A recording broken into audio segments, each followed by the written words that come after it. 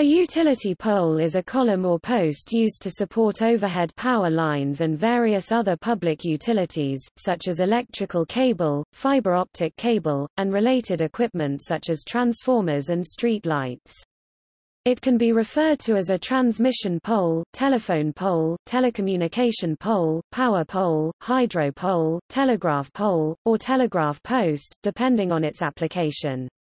A Stobie pole is a multi-purpose pole made of two steel joists held apart by a slab of concrete in the middle, generally found in South Australia. Electrical wires and cables are routed overhead on utility poles as an inexpensive way to keep them insulated from the ground and out of the way of people and vehicles. Utility poles can be made of wood, metal, concrete, or composites like fiberglass. They are used for two different types of power lines, subtransmission lines which carry higher voltage power between substations, and distribution lines which distribute lower voltage power to customers. The first poles were used in 1843 by telegraph pioneer William Fothergill Cooke who used them on a line along the Great Western Railway.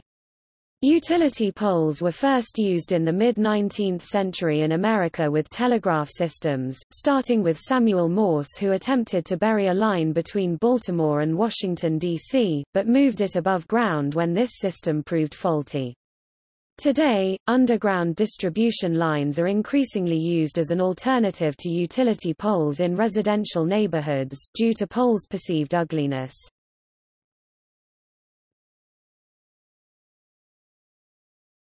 Topic: Use. Utility poles are commonly used to carry two types of electric power lines, distribution lines or feeders, and subtransmission lines. Distribution lines carry power from local substations to customers. They generally carry voltages from 4.6 to 33 kV kV for distances up to 30 miles, and include transformers to step the voltage down from the primary voltage to the lower secondary voltage used by the customer. A service drop carries this lower voltage to the customer's premises. Subtransmission lines carry higher voltage power from regional substations to local substations. They usually carry 46 kV, 69 kV, or 115 kV for distances up to 60 miles. 230 kV lines are often supported on H-shaped towers made with two or three poles. Transmission lines carrying voltages of above 230 kV are usually not supported by poles, but by metal pylons known as transmission towers in the U.S. For economic or practical reasons, such as to save space in urban areas, a distribution line is often carried on the same poles as a subtransmission line but mounted under the higher voltage lines, a practice called underbuild.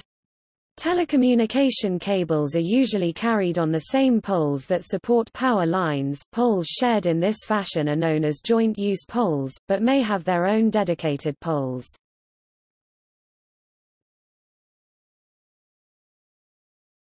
Topic. Description The standard utility pole in the United States is about 40 feet 12 meters long and is buried about 6 feet 2 meters in the ground. However, poles can reach heights of 120 feet 37 meters or more to satisfy clearance requirements. They are typically spaced about 125 feet 38 meters apart in urban areas, or about 300 feet 91 meters in rural areas, but distances vary widely based on terrain. Joint-use poles are usually owned by one utility, which leases space on it for other cables. In the United States, the National Electrical Safety Code, published by the Institute of Electrical and Electronics Engineers IEEE, not to be confused with the National Electrical Code published by the National Fire Protection Association NFPA, sets the standards for construction and maintenance of utility poles and their equipment.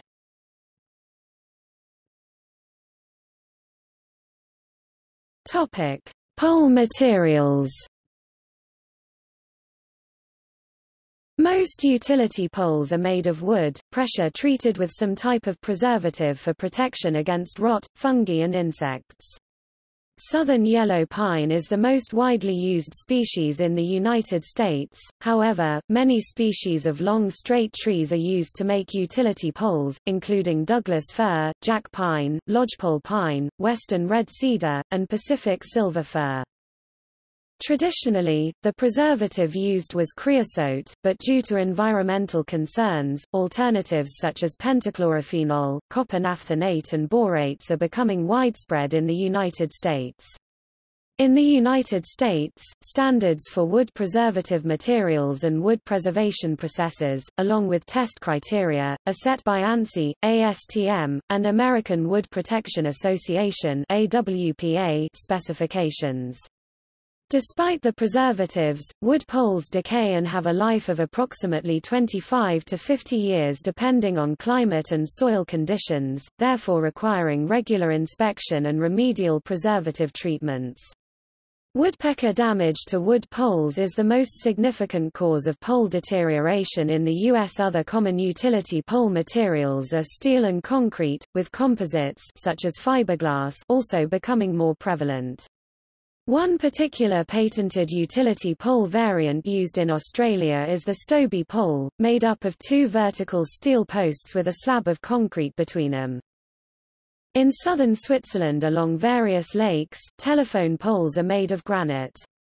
Starting in the early 1900s, these 18-foot 5 meters poles were originally used for telegraph wires and later for telephone wires. Because they are made of granite, the poles last indefinitely.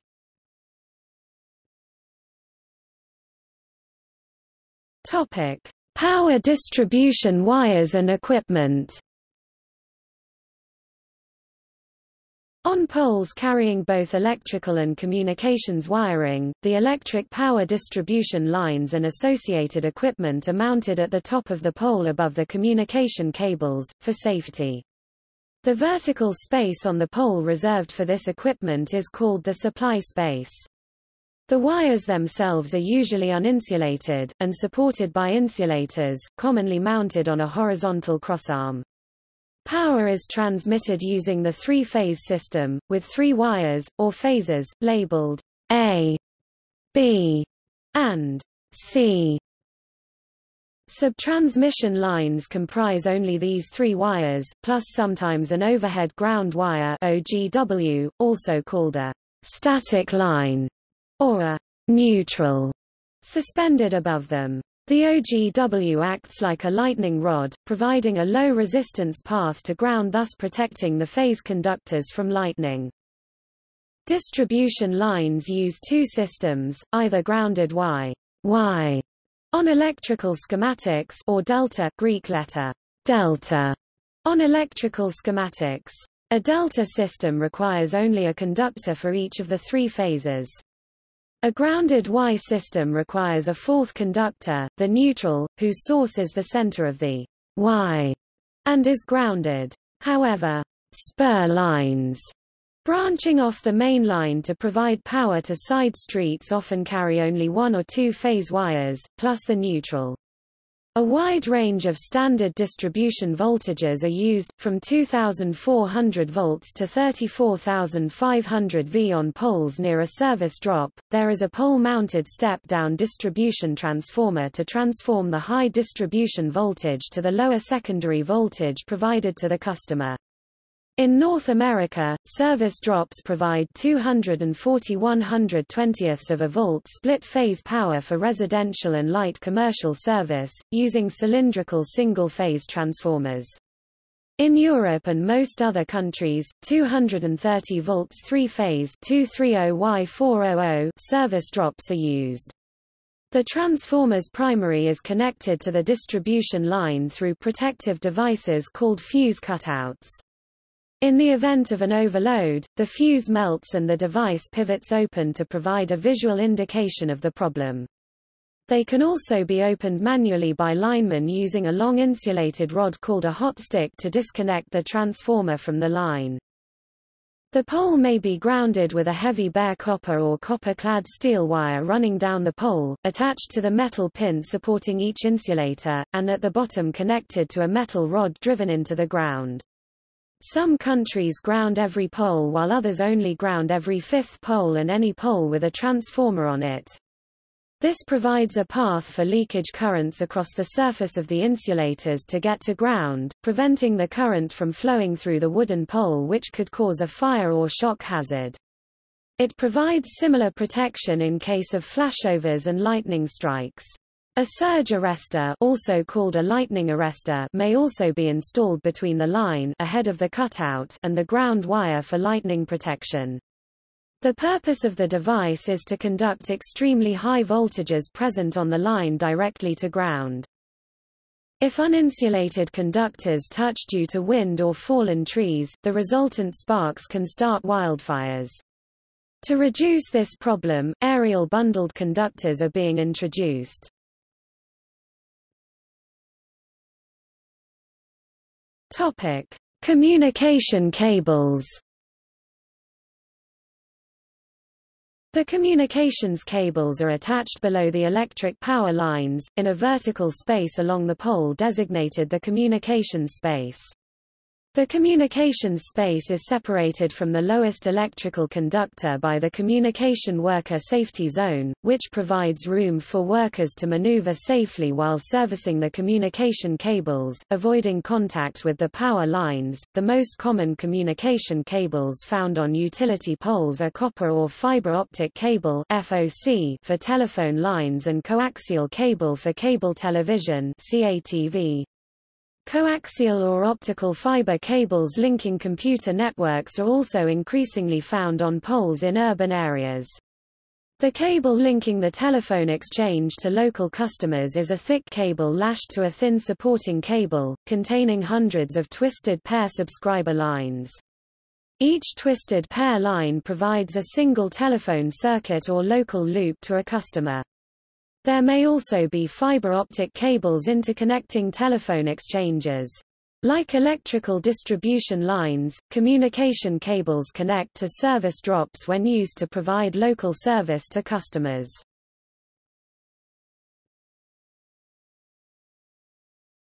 Topic: Other equipment Utility poles may also carry other equipment such as street lights, supports for traffic lights and overhead electric trolley wires, and cellular network antennas. They can also carry fixtures and decorations specific for certain holidays or events specific to the city where they are located. Solar panels mounted on utility poles may power auxiliary equipment where the expense of a power line connection is unwanted. Streetlights and holiday fixtures are powered directly from secondary distribution.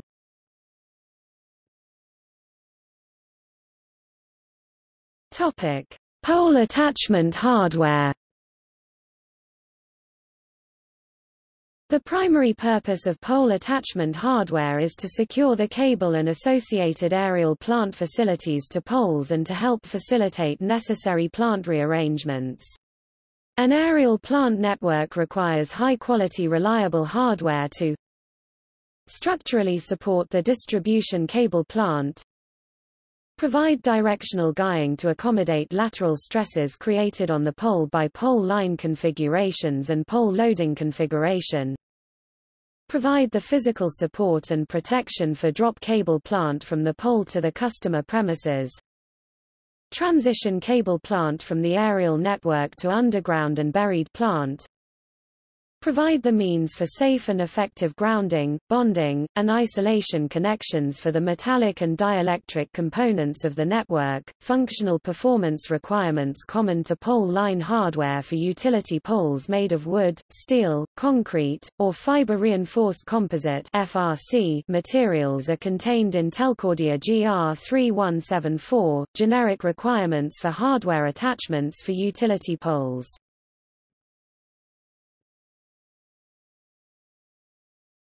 Topic: Attachment hardware by pole type.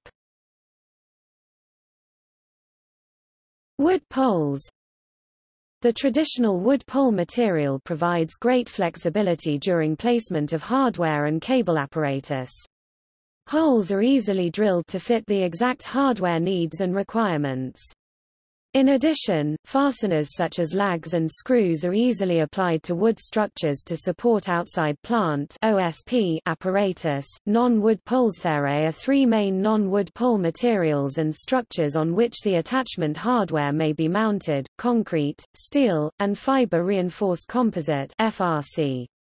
Each material has intrinsic characteristics that need to be considered during the design and manufacture of the attachment hardware. Concrete poles The most widespread use of concrete poles is in marine environments and coastal zones where excellent corrosion resistance is required to reduce the impact of sea water, salt fog, and corrosive soil conditions e.g., marsh. Their heavy weight also helps the concrete poles resist the high winds possible in coastal areas. The various designs for concrete poles include tapered structures and round poles made of solid concrete, pre-stressed concrete, spun cast or statically cast, and a hybrid of concrete and steel. The drilling of installed concrete poles is not feasible. Users may wish to have the attachment hardware cast into the concrete during the pole manufacture. As a result of these operational difficulties, banded hardware has become the more popular means to attach cable plant to concrete poles. Design criteria and requirements for concrete poles can be derived from various industry documents including, but not limited to, ASCE 111, ARCHE 318, ASTM-C 935, and ASTM-C 1089. Steel polysteel poles can provide advantages for high voltage lines, where taller poles are required for enhanced clearances and longer span requirements. Tubular steel poles are typically made from 11-gauge galvanized steel, with thicker 10 or 7-gauge materials used for some taller poles because of their higher strength and rigidity. For tall tower-type structures, 5-gauge materials are used, although steel poles can be drilled on site with a annular drill bit or standard twist drill, it is not a recommended practice. As with concrete poles, bolt holes could be built into the steel pole during manufacture for use as general attachment points or places for steps to be bolted into the pole. Welding of attachment hardware or attachment ledges to steel poles may be a feasible alternate approach to help provide reliable attachment points. However, operational and practical hazards of welding in the field may make this process undesirable or uneconomical. Steel poles should meet industry specifications such as TIA EIA 222G, structural standard for antenna supporting structures and antennas, current TIA EIA 222, structural standards for steel, and TIA EIA-222 rupees, or an equivalent requirement set to help ensure a robust and good quality pole is being used. Fiber reinforced composite FRC poles FRC poles cover a family of pole materials that combine fiberglass fiber strength members with a cross-linked polyester resin and a variety of chemical additives to produce a lightweight, weather-resistant structure. FRC poles are hollow and similar to the tubular steel poles, with a typical wall thickness of 1 quarter to 1 half inch with an outer polyurethane coating that is approximately 0.002 inch thin. As with all the other non-wood poles, FRC poles cannot be mounted with the traditional climbing hardware of hooks and gaffs. FRC poles can be pre-drilled by the manufacturer, or holes can be drilled on site. Attachments using lag bolts, teeth, nails, and staples are unacceptable for FRC poles. Through bolts are used instead of lag bolts for maximum bonding to the pole and to avoid loosening of hardware. The relevant industry documents covering FRC poles include ASTM D4923, ANSI C136.20, OPC 03-02, and Telcordia GR3159, generic requirements for fiber reinforced composite FRC, concrete, and steel utility poles.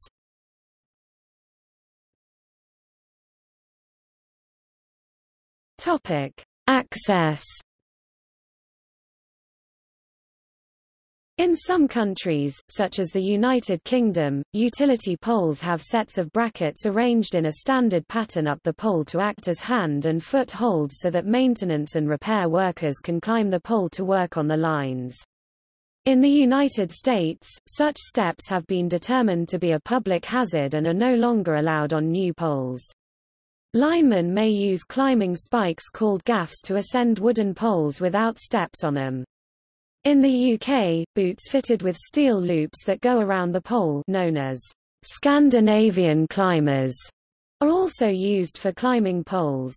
In the U.S., linemen use bucket trucks for the vast majority of poles that are accessible by vehicle.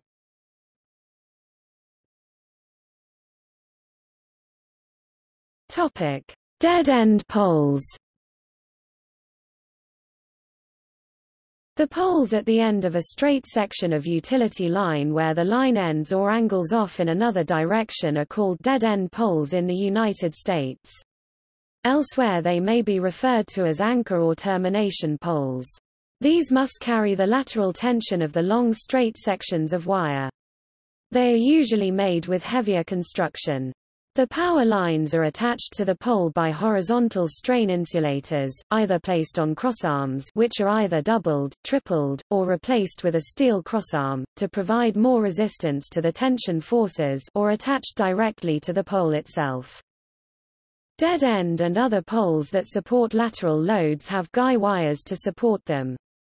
The guys always have strain insulators inserted in their length to prevent any high voltages caused by electrical faults from reaching the lower portion of the cable that is accessible by the public. In populated areas, guy wires are often encased in a yellow plastic or wood tube with reflectors attached to their lower end, so that they can be seen more easily, reducing the chance of people and animals walking into them or vehicles crashing into them. Another means of providing support for lateral loads is a push-brace pole, a second shorter pole that is attached to the side of the first and runs at an angle to the ground. If there is no space for a lateral support, a stronger pole, e.g. a construction of concrete or iron, is used.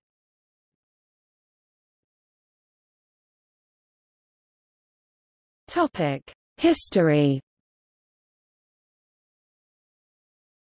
The system of suspending telegraph wires from poles with ceramic insulators was invented and patented by British telegraph pioneer William Fothergill Cooke.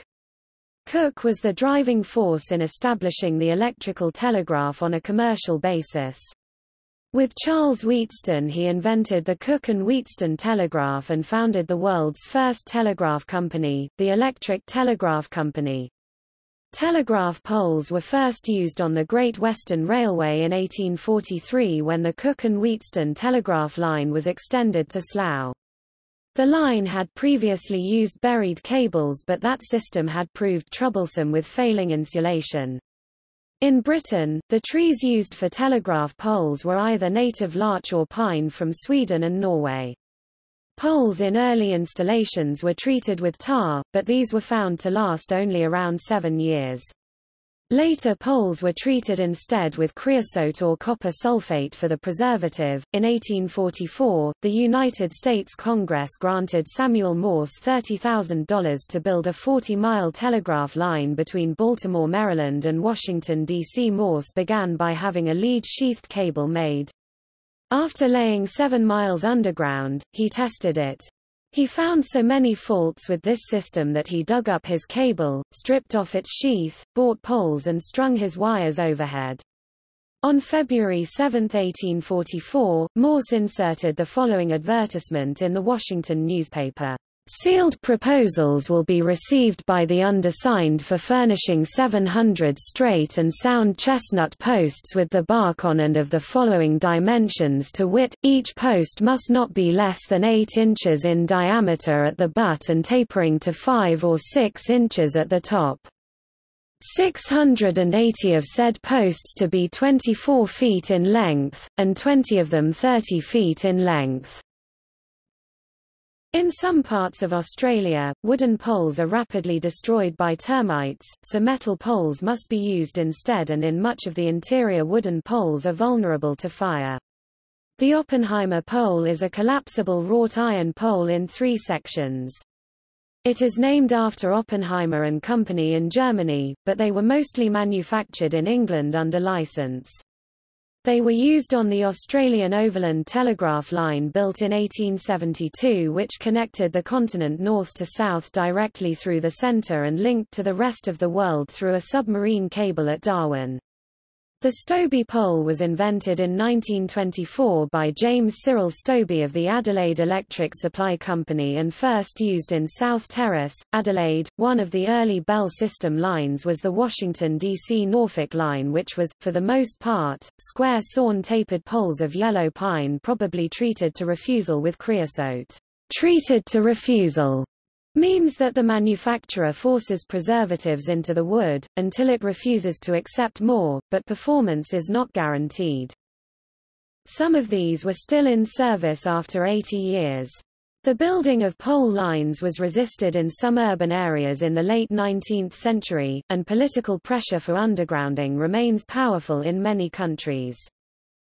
In Eastern Europe, Russia, and Third World countries, many utility poles still carry bare communication wires mounted on insulators not only along railway lines, but also along roads and sometimes even in urban areas.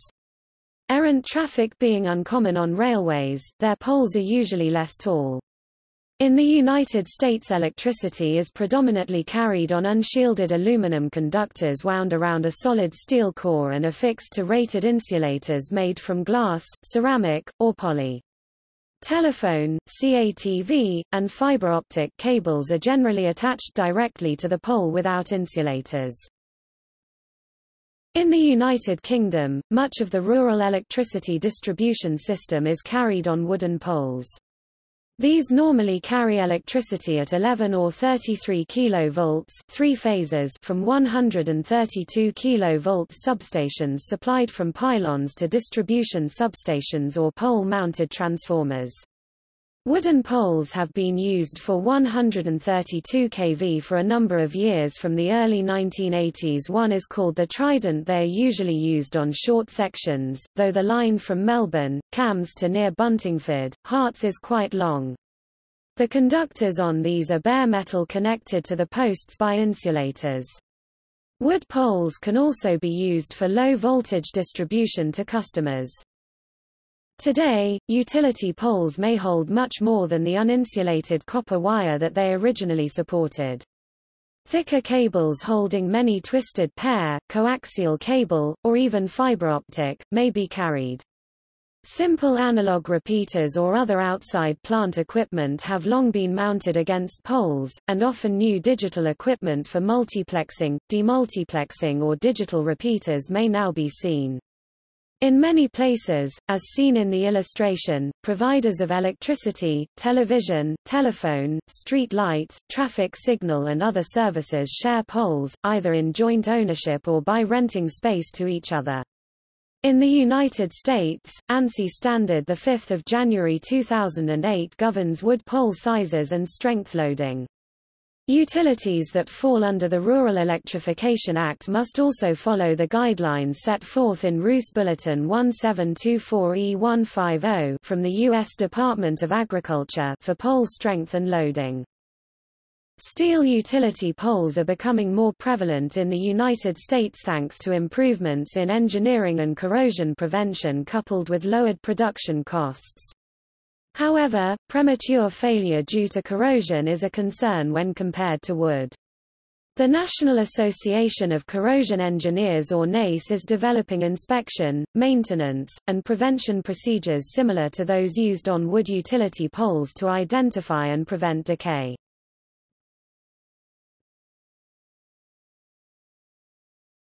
Topic: Markings.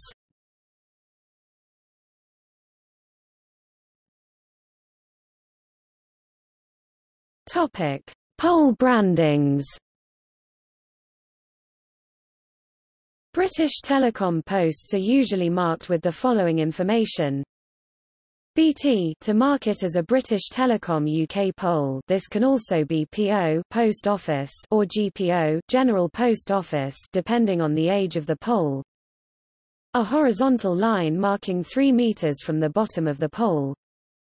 The pole length and size e.g. 9L implies a 9 meters long, light pole. Other poles in use are 7, 10, 11, 13 and 15 meters, as well as M medium and S stout.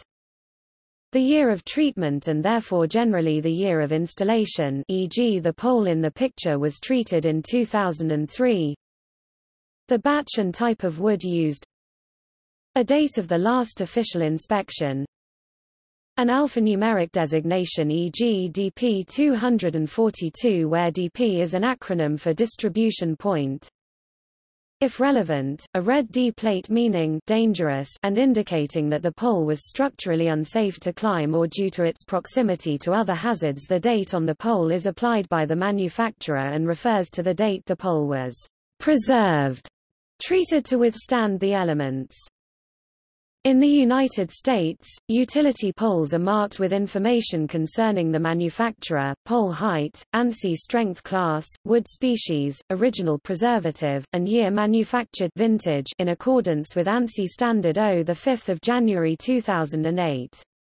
This is called branding, as it is usually burned into the surface. The resulting mark is sometimes called the birth mark. Although the position of the brand is determined by ANSI specification, it is essentially just below eye level after installation. A rule of thumb for understanding a pole's brand is the manufacturer's name or logo at the top with a two-digit date beneath sometimes preceded by a month. Below the date is a two-character wood species abbreviation and one to three-character preservative. Some wood species may be marked SP for southern pine, WC for western cedar, or DF for Douglas fir. Common preservative abbreviations are C for creosote, P for pentachlorophenol, and SK for chromated copper arsenate originally referred to salts type K. The next line of the brand is usually the pole's ANSI class, used to determine maximum load. This number ranges from 10 to H6 with a smaller number meaning higher strength. The pole's height from butt to top in 5-foot increments is usually to the right of the class separated by a hyphen, although it is not uncommon for older brands to have the height on a separate line. The pole brand is sometimes an aluminum tag nailed in place. Before the practice of branding, many utilities would set a two to four digit date nail into the pole upon installation. The use of date nails went out of favor during World War II due to war shortages but is still used by a few utilities. These nails are considered valuable to collectors, with older dates being more valuable, and unique markings such as the utility's name also increasing the value. However, regardless of the value to collectors, all attachments on a utility pole are the property of the utility company, and unauthorized removal is a felony.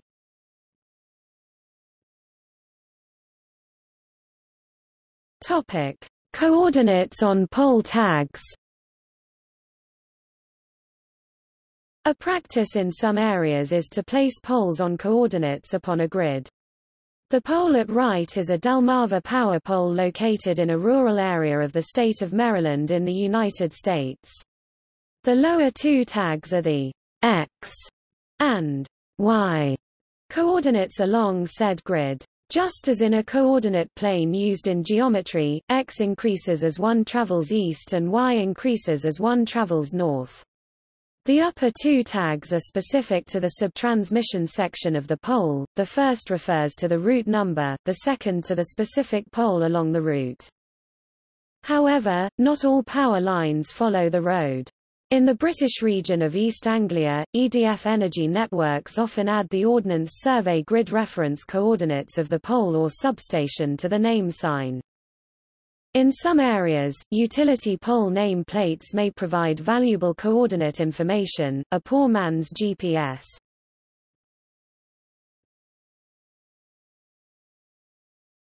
Topic: Pole route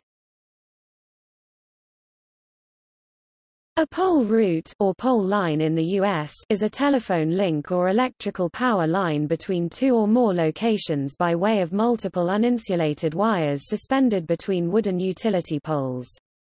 This method of link is common especially in rural areas where burying the cables would be expensive. Another situation in which pole routes were extensively used were on the railways to link signal boxes.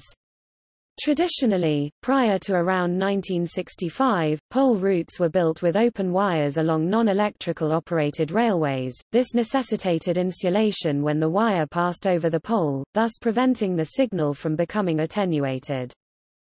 At electrical operated railways, pole routes were usually not built as too much jamming from the overhead wire would occur.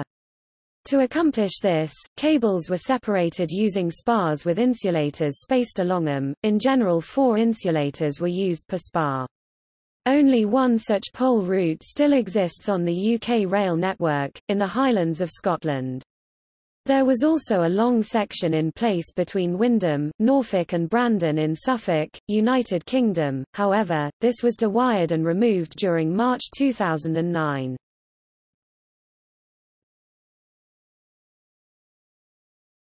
Topic: Environmental impact. Utility poles are used by birds for nesting and to rest on. Utility poles and related structures are regarded by some to be a form of visual pollution. Many lines are placed underground for this reason, in places of high population density or scenic beauty that justify the expense. Architects design some pylons to be pretty, thus avoiding visual pollution. Some chemicals used to preserve wood poles including creosote and pentachlorophenol are toxic and have been found in the environment. Historically, pole-mounted transformers were filled with a polychlorinated biphenyl PCB liquid. PCBs persist in the environment and have adverse effects on animals.